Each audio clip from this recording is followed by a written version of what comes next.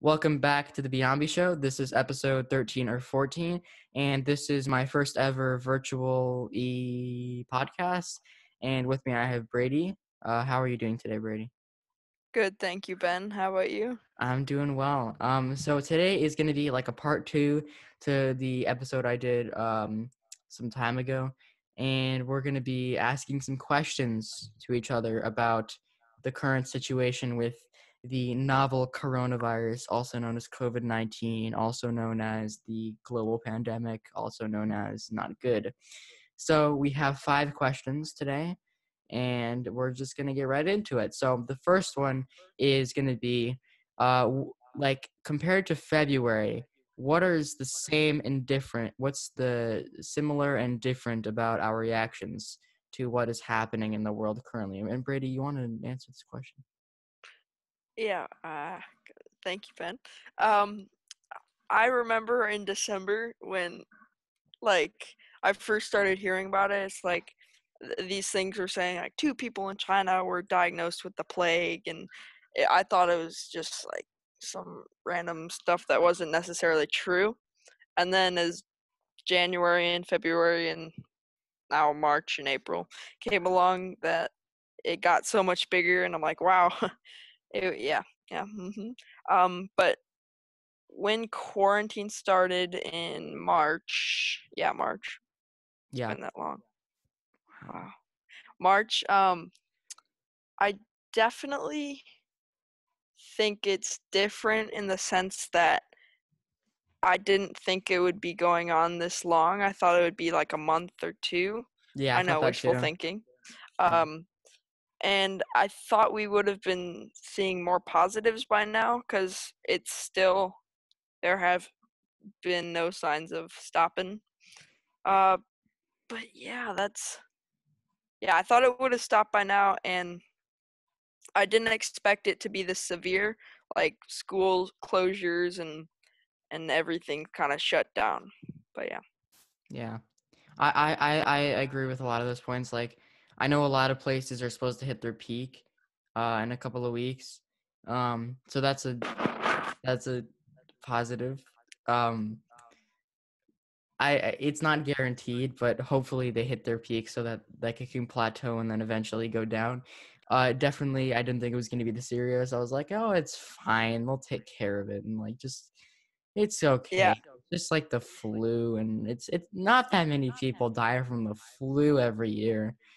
Yeah. Um, But like the the beginning of March, um, our family and like uh we were like so we like the schools may shut down for a week after spring break and i'm like oh my god that's so long like how could this happen and then come spring break and post spring break it's like oh well we're in this for the long haul now but yeah i i totally was not expecting school closures and yeah. like month two month three month long quarantines I did one thing I did uh think was like similar about February was like everyone I knew everyone's a lot of people's reactions are gonna be like, oh, it's not a big deal, like, oh, it's only seven hundred people, it's only eight hundred people, it's only thousand people. And because diseases grow exponentially in terms of numbers, it's like one day it's a thousand, then oh my god, now it's two and a half million people across the globe that have this thing. And it's being yeah growing every day. Yeah, That's and another thing I totally was not expecting was the United States to be the the epicenter and like the hotspot. I yeah. like for the long like for since it became Italy and then now the U.S. I always thought it was gonna be China because that's where it started. But Allegedly. we don't know. The US government could have created it. I'm just kidding. No, they didn't. Ben, if there was a comment section, you will be getting blasted. But there There- is no comment section. There is a so comment gonna- section on YouTube, but not Spotify. So I will. I'll get Oh, yeah, blasted on right. YouTube. Yeah. So anyway, I thought it, but China put like restrictions in relatively sooner, like not soon, but sooner than the rest of the countries. Yeah. Like when China was in lockdown, Italy wasn't, so it jumped to Italy, and then when Italy was in lockdown, the U.S. was, wasn't, so it jumped to the U.S. And yeah, it now it's here, and it's here to stay. Yeah, I, I, I feel I feel like a lot of this could have been avoided if we everyone had taken precautions earlier, and Yeah. everyone like I feel like everyone is going to be opening up everything too early because like oh we need to save the economy, because I, I but personally in my humble opinion I don't think saving the economy is the most important thing because, you know if this thing gets to every person on the planet, we might not have an economy just like at all. Yeah. So I feel Well, like that's saving the human yeah. race is just a tad more important. yeah. Um, I think world leaders around the country could have done more because that's the whole thing. Not just America or European countries or South American countries that put it like not. It's pretty much every well, yeah. A lot of countries kind of put it off, saying everything was absolutely under control, everything's fine, and that was obviously not the The case. one thing I found hilarious was that the Belarusian president, the president of Belarus, he said it, everyone needs to just start using tractors. They need to drink vodka, and everything will be okay. It's Yes. actually what he Ah, said. yes. Oh, yeah. So yeah, now we're here. I now that like we've kind of been talking about this for a while, I don't think there is too much, like too many similarities um to when this Yeah, because it's such a new started. experience. yeah. Such a new experience. Because especially because we ha- we weren't around for SARS or MERS. Um, we we didn't get ex- like to. I I think those were only epidemics and not pandemics, so they weren't nearly on the scale that um Yeah. we're at right now. And the last major pandemic was in was it the Spanish flu or was there something else? Yeah, I think it was. The So 20s. 1920, a hundred years ago. How how convenient. But um, Yeah. That that's that's where we stand right now and you know maybe everything will keep evolving and our expecta- and our expectations and views will change as we get into may june july. Maybe everything will open up maybe it won't. Who knows? You know? Who knows? Yeah. Things are being canceled into the summer, which is too bad because yeah. I know the fourth like of july parade that uh where we live got canceled. I'm not going to say where we live but um i know the fourth of july parade got canceled which sucks because i really look forward to that parade every year yeah. So yeah, we're gonna move on to the next question. Very smooth segue. So, what are your predictions for the future about of, of Predictions this? for the future. Yeah, Um, well, that's kind of the whole thing with this. Like, we we're kind of going like months, weeks, or even days at a time. Like with every new bit of news that comes along, we kind of go from there. It's not like we know when it's gonna stop because it's just been going up, con- like without pause, uh, f- since February. And yeah, I don't, I can't really predict when it's gonna end. I hope a lot like sh- mm, eh, yeah you yeah i don't know yeah i hope that it's yeah I know this is obvious but sooner than later hmm Yeah. Okay, that's preferable. Yeah. Yeah, I do agree that Yeah. it's hard to predict because it's such a rapidly changing thing, and like Yeah. every every single day there's like new things. Like, oh, it was just till April seventh, and now it's till April thirtieth, and now it's till May thirtieth. Like, you can't really predict that these things are going to happen because at the, because yeah, as we said at the beginning, our like predictions were like, oh, it's going to be fine. Like that's what we said in February. Yeah. they'll take care of it, just like in the movies. But now it's we're not in the movies, so it's they didn't take care of it, and it's yeah and gonna be it could be even crazier uh, after April, or it could calm down a bit. Um, as many places are expected to hit their peak and plateau after that, but we'll have to see because you know this is a very complex and changing situation every second. yeah yeah um uh, like it, it yeah it is really hard to predict but yeah about the economy i don't know Yeah, because I, I I've checked and it's like some days it's going up like twenty percent in different things. Maybe it's because of that stimulus package package that Congress passed, or maybe it'll Mhm. wear off. that's when it started going back up yeah, yeah. And some days it's going down like twenty percent. Like it's it's fluctuates, so it's also very hard to predict. But you know, maybe that stimulus package will have like a positive impact on it as a whole. But I think it's gonna suffer for a bit. Yeah, but the whole thing um, about the package for like small businesses and how like large, huge businesses like uh, Potbelly and uh, Shake Shack and I forget the other one that. Uh, but they like huge businesses were getting millions and millions of dollars for from this deal that was supposed to be for small businesses, and yeah, everybody's mad about that. Yeah. It's hard to predict. I mean, we'll just have to see what happens and then report it to everyone in a podcast later because podcasts are the best source of news. All right. Ah, so yes. moving on to our third question.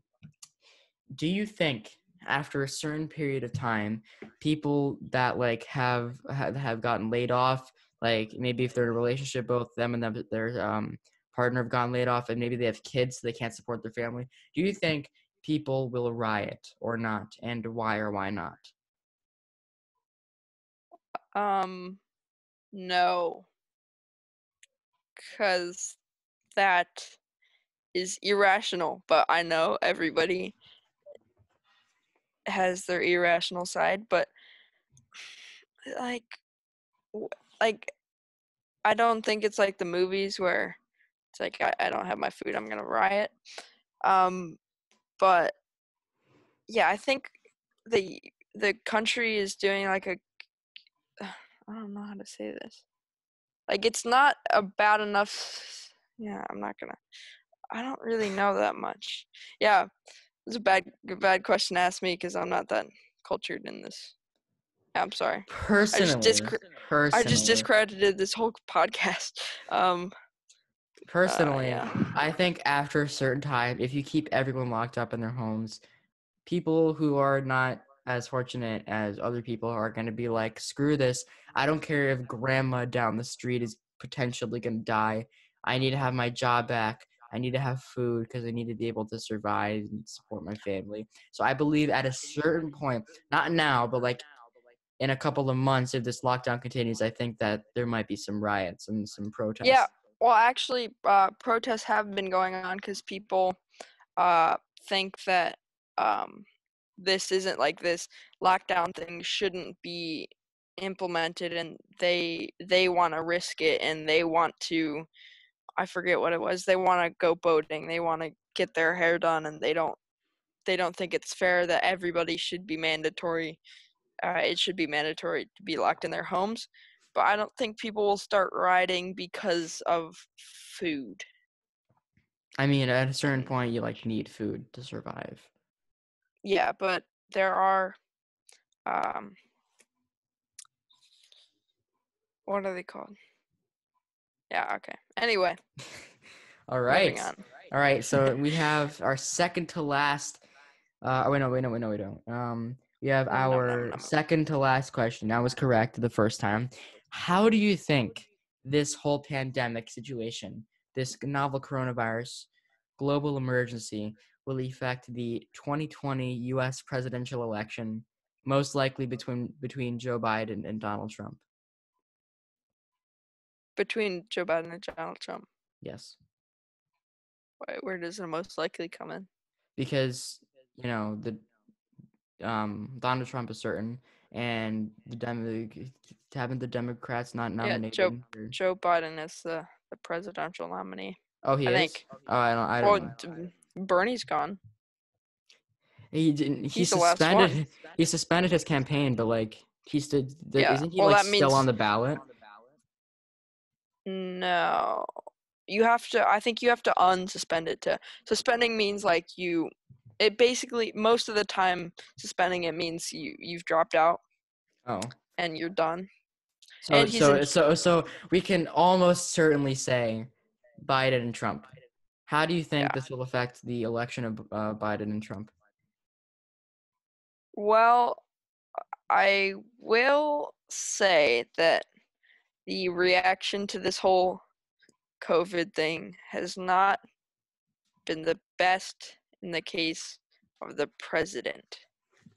Yeah. like it yeah um it's the whole thing like putting it off in february and only only right like recognizing it and doing something about it until mid-march that of people, a lot of people after this, um, are gonna look back on it and be like, wait a minute, this is, yeah, this is this shouldn't have happened, and that that would potentially change a lot of people's minds and people that are affected by this financially and have lost their jobs and have lost lost like a lot in this are gonna start looking at somebody to take all the responsibility and like I wouldn't yeah rightfully so I guess because like Yeah. he I I th- he should have been the one to kind of take like all this head on uh I, in my opinion um and to start blaming other people and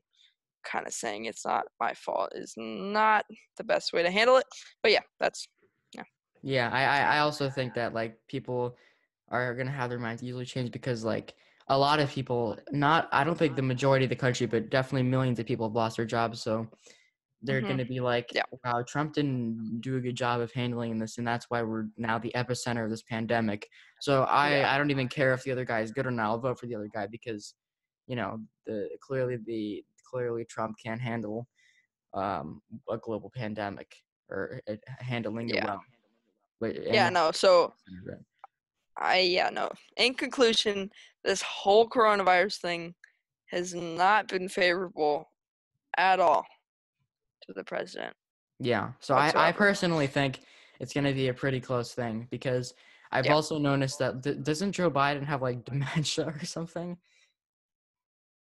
Because like, not that I, I- know. I, I've heard he's like forgetting things like on stage or uh, when he's at like Huh. rallies, he like says one thing and then later contradicts himself and like forgets everything. He's at the age where like he can get dementia, right? He's like 78. Yeah. Yes. Uh, So let is me- Trump. How old is Trump? How old is Yeah. Biden? Trump is 73 and Biden is 77. Huh. So Yeah, he- I Biden's think- getting Biden's getting that age. Yeah, I Uh, don't think. Uh, could potentially. I, don't don't know if do it's not think Joe Biden has dementia. Uh, but yeah, yeah. Uh, oh, I forgot. I was gonna say. Oops.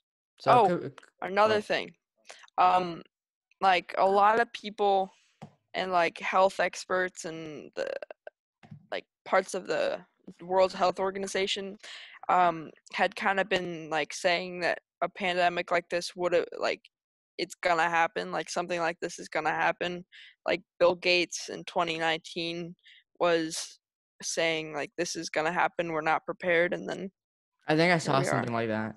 yeah so it's kind of Should have listened to Bill. Always got to Yeah. listen to Bill. hmm Yep. All right, so I think it's kind of oh, just the unpreparedness of every every country that's kind of that's kind of uh, the reason. Plus a lot of things, yeah, you know, there's a lot of reasons. yes. We're gonna look up back on this and be like, remember the coronavirus? Yeah, and that and that and that is Hopefully actually a nice segue into our last question, which is how Oh, will God. this pandemic affect our understanding of pandemics for the future? Because we will inevitably have one later in the future. How do you, how yeah. do you, Um. Well, it, well, yeah, it's definitely a wake up call to countries around the world because this definitely shows that we were way not prepared. yeah, uh, and yeah, so this is gonna hopefully lead to more research and funding and everything good yeah. that And like prevents historic, pandemics. You know. historically, like you know, history repeats itself. So hopefully, like we won't have history repeat itself, and hopefully we'll be able to be more prepared next time that something like this happens, and not just be like, it's fine. It's like only a ten. It's only ten people. Oh, it's only hundred people. Oh, it's only two and a half million people. Yeah. Yeah. So. Yeah. Yeah, and then um, this is uh just a bonus question. You know, Oh do you, no. do you, do you do you think everyone is going to get it? No. That's why we have social distancing, Ben. But All when right. people riot on the streets because they want their to ride their boats and they want to get their hair done, then yes, those people will get coronavirus. Makes sense. And all Social the teens, all the teens going on spring break Yeah. to the beach, hanging out together, hmm waking up sick. Oh, yeah, that was a, that's a while ago. yeah. But yeah, no, just stay in your house. Wear your seatbelt. Actually, don't wear your seatbelt. don't wear your go in seatbelt because you're not going anywhere. wear your seatbelt in on your the house. couch. So yeah, on the on the couch. couch. yeah. yeah. So All right. Well, that house. that is that is all the questions we have. I I hope I hope everyone enjoyed this podcast. Brady, uh, did you enjoy this this? I enjoyed it. Yeah, it was very. It was it was fun. Good. I I certainly enjoyed this. Um, I hope everyone uh, enjoys enjoyed the podcast. Um, Yeah. y- y- yeah. I'm. Uh, I ha- I have I have a new music video. If you want to go check it out, it's on my uh, Beonby Music channel, the same channel. What's you it called? It- It's called it's called Period. It's Oh yeah, yeah. The, I saw mark. that one. Yeah, yeah, yeah. Yep. Um, so just just little announcement if you want to check it out, and um, yeah, that's pretty much it. I'm releasing some more music soon. I hope you'll enjoy. Hope you have a good day. Stay safe. Wash your hands. Don't get corona. And Wear your seatbelt you- on your couch. Yeah, wear your seatbelt on Mhm. your couch, and we will see you later. Goodbye.